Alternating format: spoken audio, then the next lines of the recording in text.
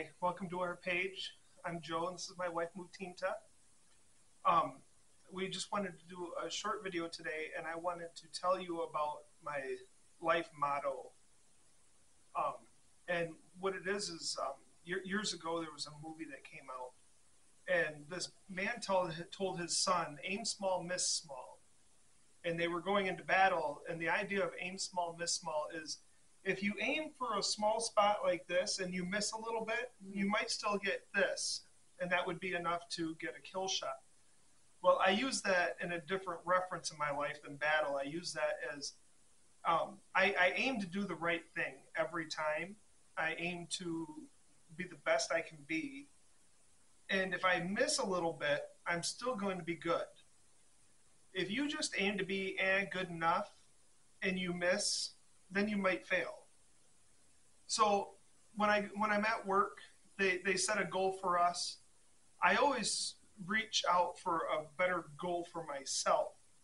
And I always pass the goal, surpass the goal that they have set for me, and do better than what they expected of me because I'm reaching for that higher goal.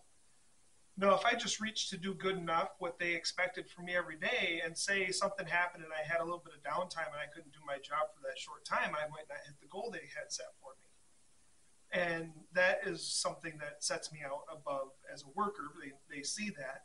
I'm always doing more than expected. Um, it's the same thing in life.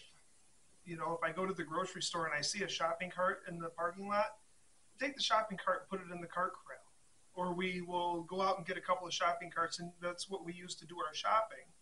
And then when we're done shopping, we return them to the cart corral. I always try to leave the world a better place than what I came to. Um, yeah. Even picking up a piece of trash, if you go for a walk down down a bike path or out in a park and there's a piece of garbage on the ground, pick it up and throw it in the nearest trash can. Just leave the world a little bit better than what it was left. If everybody did that, I think the world would be a better place. Yeah. So.